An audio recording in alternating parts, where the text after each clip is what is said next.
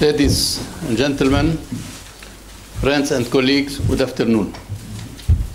I would like to begin by thanking Dr. Ahmed Shahi, Dr. Bona Malwal, and Dr. John Eibner of Christian Solidarity International in Switzerland for their excellent job in organizing this important conference. In my remarks, I would like to share some thoughts on the crisis of pluralism in the Middle East. I will do so by surveying negative, the negative trends in the Middle East region, the status of Arab Christians, and possible solutions of togetherness that could help move the Middle East away from its crisis of pluralism towards a more democratic and uh, hopeful future. As I will emphasize a stable future, both for religious minorities and for all the people of the Middle East, can only be secured through a culture of democracy.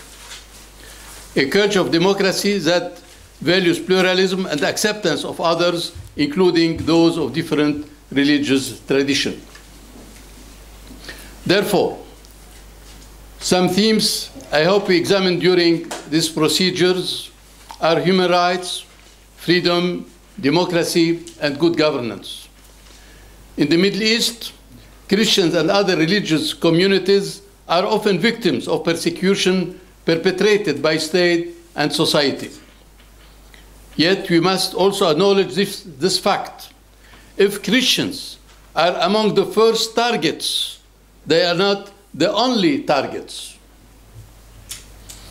With the Middle East environment that will that still features a notable lack of freedom and democracy, extremist Muslims often harass and oppress moderate Muslims. And that what Reverend Williams the small, the, uh, the, in the beginning uh, uh, focused on also this phenomenon that not only the Christians are victims, but also there is a kind of uh, persecution within the various communities and religions in the area. Therefore, I assert, let us focus not our attention not only on enhancing minority rights in the Middle East. Instead, let us explore ways and means of achieving democracy and good governance in the Arab world, a condition that would bestow the benefits of human rights and freedom on all communities in the region. What are the major negative trends in the Arab world? Before noting certain negative regional trends, I should first express my perspective on the Arab awakening, the collective name given to the socio-political changes that have swept across the Middle East in recent years. Simply put, the Arab awakening is one of the great hope-inspiring developments of early 21st century history. Thanks to, the, to his million of people, to this million of people, now live under governments and within societies that are far more responsive to their hopes and aspirations. In my estimation, the Arab awakening has featured two aspects. In its first aspect, the Arab awakening is a struggle between all dictatorial governments and the forces of change. We have witnessed the struggle between dictatorship and change play and change play out in Tunisia, Egypt, Yemen, Libya, and most destructively in Syria. In its second aspect, the Arab awakening became a clash between the forces of freedom and democracy, led by a useful vanguard, and religious extremists bent on imposing a perversion of divine doctrine. We have seen the second aspect of the Arab awakening manifested in countries such as Egypt and Tunisia. In Egypt, during the initial phase of the anti-Mubarak protest, a group of young Egyptian revolutionaries called for democracy and pluralism under the slogan, the cross and Quran together. In a subsequent phase of the Egyptian revolution, however, the Muslim Brotherhood and other Islamists sought to dominate the scene by employing the rhetoric of Islamic solidarity. This was a blatant attempt to push Egyptian Christians to the sidelines. During a third phase of the Egyptian revolution, a kind of antidote to the Muslim Brotherhood arose in the form of pro-democracy agitation that again emphasized the solidarity of all Egyptians, no matter their religion. Overall, the spread, the spread and intensification of religious extremism in the Arab world poses a threat to religious minorities, no less than it does to the forces of Arab democracy. For this reason, these two groups, which often overlap in any case, should work in tandem to overcome the crisis of pluralism that could permanently damage both. Across the Arab world, dangerous signs of a region-wide spiral of conflict are apparent. Christian communities in Syria, for example, have been subjected to violent attacks perpetrated by religious extremists. Here, I would like to highlight the disturbing case of the simultaneous abduction in April of the Greek Orthodox Archbishop Boulos Yazigi along with the Syrian Orthodox Archbishop Yohanna Ibrahim. They were traveling by car to Aleppo, Syria, when unknown gunmen intercepted them, killed their driver, and took both hostage. Early this month, I received assurances from the acting president of the Syrian National Council, George Sabra, that the two archbishops were in good health and in custody of the Syrian rebel group. Yet, this information offers little comfort to Christians in Syria or the, re the regions who want to know. And why? They want to know why these respected figures were taken prisoner and what the dangerous incident means for the future of Christians in Syria and in the Middle East. In short, the dual kidnapping sends an extremely dangerous message that certain influential elements do not want Christians in post-Assad Syria. There can be little doubt that the disappearance of these Christian leaders were meant as a prelude to attacks on Christian churches and assaults on Christian families. All part of a campaign to uproot a community whose presence in Syria long predates the arrival of Islam. Beyond intensified persecution at the hands of local actors, Arab Christians have, re have reason to fear larger international trends, including the wait and see attitude that many influential countries, including the United States, have adopted. Ladies and gentlemen, in bringing us together, our distinguished, distinguished co-conveners made reference to, and I quote, the existential crisis facing the religious minorities in the Middle East. I would now like to share some thoughts for an Arab Christian perspective on the nature and dimensions of this existential crisis. According to estimates, at the beginning of the 20th century, Christians constituted approximately 20% of the total population of the Middle East. Today, that figure has dwindled to just 5%. Projecting population trends forward, the Middle East remaining 12 million Christians may be reduced by 50% in less than a decade.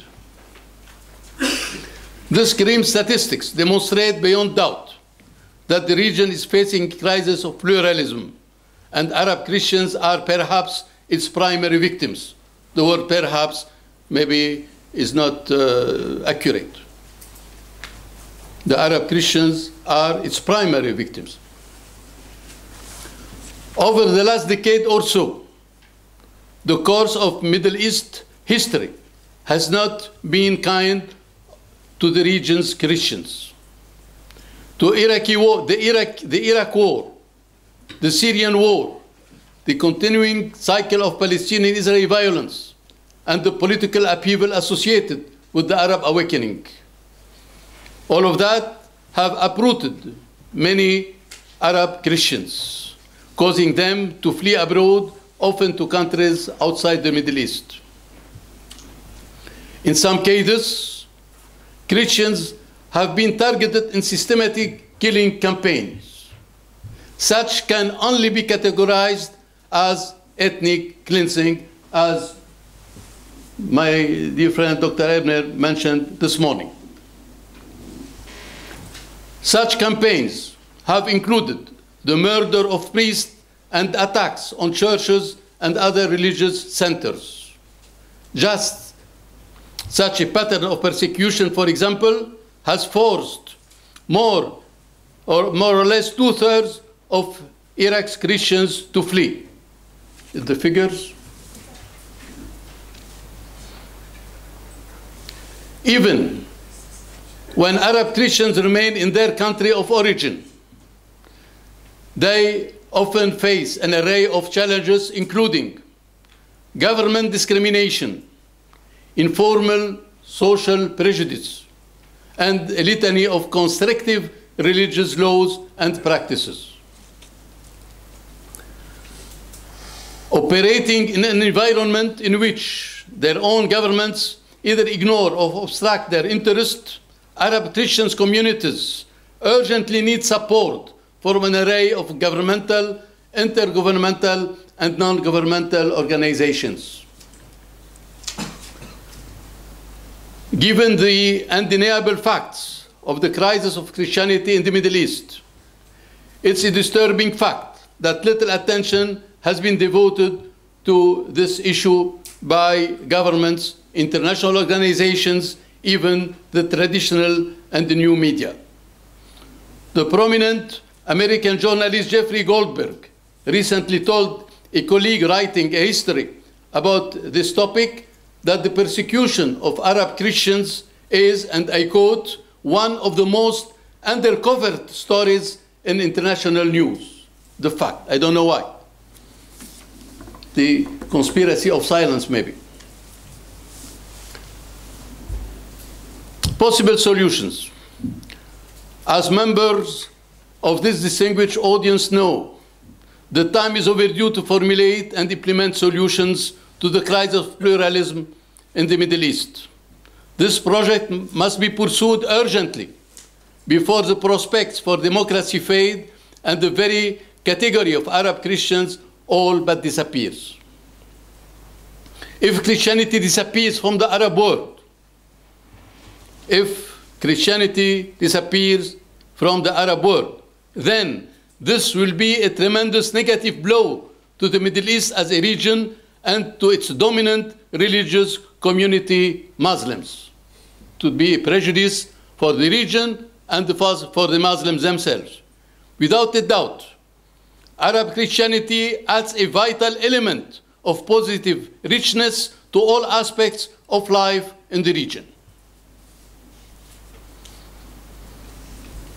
I began my remarks by noting how a better future for all the people of the Middle East depends on a culture of freedom and democracy that respect pluralism, that respect pluralism. We can start with two dimensions involving reform of the mind and the articulations, articulation, the articulation of ideas, namely education and the media. The first step to achieving Arab democracy and ensuring pluralism is to give the region's youth tangible proof that their lives are improving by any means. Here we must remember that the Arab awakening was at heart a movement by the young in favor of change and against a present filled with despair. To inspire, to inspire Arab youth to support universal values of freedom, democracy, and pluralism, access to primary and higher education must be enhanced. Above all, new curricula at all educational levels must emphasize the teaching of tolerance, togetherness, and partnership. Beyond educational reform, a new Arab media must become a partner in creating Arab democracies. The new media should promote hope and the ideals, principles, and procedures of, plura of pluralism. Therefore, international agencies affiliated with the United, the United Nations, as well as private sector NGOs, should help train media not only in technical areas, but also in the norms and standards of democracy and diversity. In terms of accountable government, to consolidate the Arab awakening,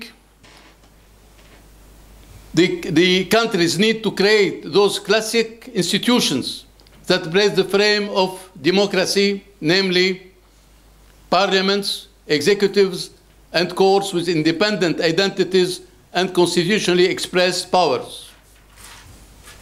Those reforms are essential to spread the real democracy and freedom in the area. A condition, as the referent expressed this morning, democracy is essential to preserve the dignity, the dignity of the, the people. The project of reforming of Arab governments is, of course, primarily an Arab responsibility. Yet the international community can and must assist in this process. A new coalition composed of official and non-governmental representatives from the established democracies could be created to help the emerging democracies of the Arab world. Such a pro-democracy coalition could assist Arab governments and Arab public in critical areas, like democracy training at all levels of society. Of society. This proposed coalition for Arab democracy must also be prepared to issue strong warnings to Arab governments if they deviate from the norms of human rights and democracy. We're mentioning the attitude of the, the United States, for instance, and some other countries. And this uh, attitude is very pervasive and uh, very dangerous for the future of democracy in the area. This silence is um, against, against the uh, improvement of democracy and freedom in the region. In certain severe cases, failure to uphold democratic governments should result in tangible negative consequences, such as a reduction in foreign assistance and even broader political and economic sanctions. Of course, no reform of Arab societies, whether in education, the media, or government, will succeed if Arab majorities do not support such measures. If democracy and its essential feature, pluralism, are to succeed, then Arab Muslims must never view Arab Christians as intruders to be expelled. The challenge for Muslim Arabs at this critical moment is to demonstrate that the Middle East, a region where Muslims predominate, is capable of achieving pluralism, freedom, and modernity. Now is the time for the troubled region to transcend sectarianism and define a concept of citizenship based on universal values of tolerance and democracy. As history demonstrates, pluralism benefits not only minorities but all sectors of society. In this context, context we may ask how can moderate Islam prevail for the benefit of all Muslims and the wider world if Middle East Christianity disappears? As a fit response, Muslim of goodwill can help preserve and enhance the moderate core of Islam by forging partnerships with their Christians, Christian compatriots. If Arab Muslims create partnership with Arab Christian to forge democracy in the Middle East, then this will send a strong message to the world that the Muslim community is at its center, moderate and committed to pluralism and liberty.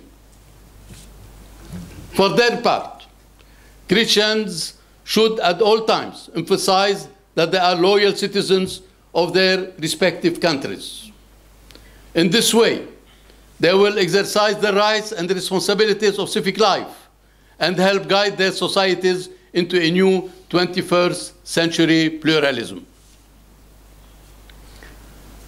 Arab Christians everywhere can find inspiration from the record of Lebanese Christians, who in accord with their best traditions have made decisive contributions to the cause of democracy and pluralism by championing civic, civic law, by tolerating different political views, celebrating personal liberty, upholding the independence of civil society, maintaining ties with other Christian community in the Middle East, and remaining attuned to global trends and influences.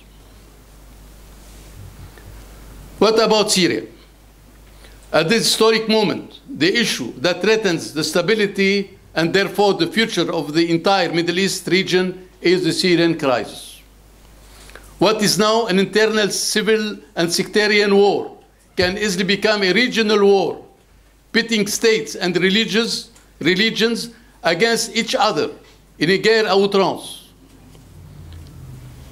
The joint kidnapping of the Syrian archbishops I mentioned a moment ago is a forestate of what we can expect amid such a war.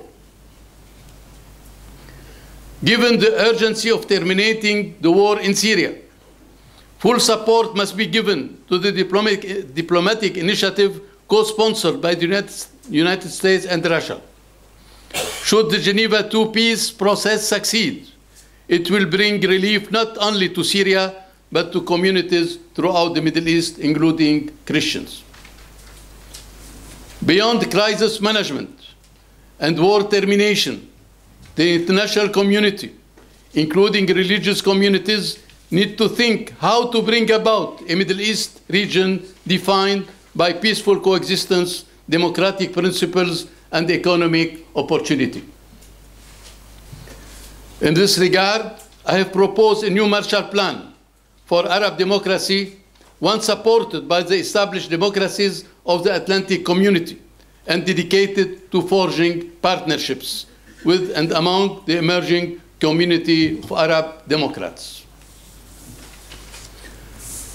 Ladies and gentlemen, dear colleagues, to conclude, I have no doubt that leading representatives of the Arab Muslim majority are ready and even eager to participate in a great project focusing on interfaith dialogue and democracy building, which in the Middle East must go hand in hand.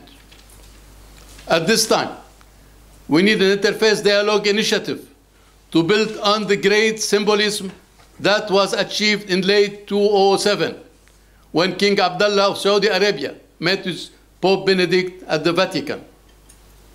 More recently, an important pro-democracy statement was issued in June 2011 by Grand Imam Ahmad al-Tayyib, Sheikh of the prestigious Al-Azhar in Cairo, the world's leading center of Sunni Muslim thought.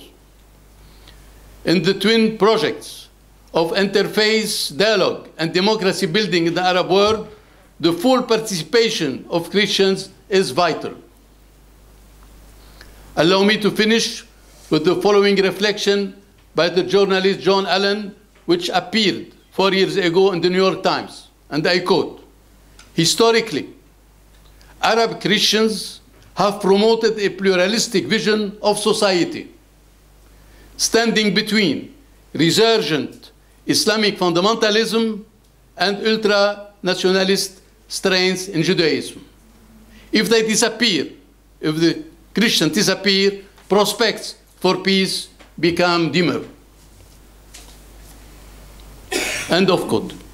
In conclusion, I urge all of us present here today to take the facts and analysis we have heard in the course of these proceedings and build on them in concrete ways. Most urgently, let us consider what kind of interfaith and civil society forums we can build that will help focus the world's attention on managing and then resolving the crisis of pluralism in the Middle East. Thank you.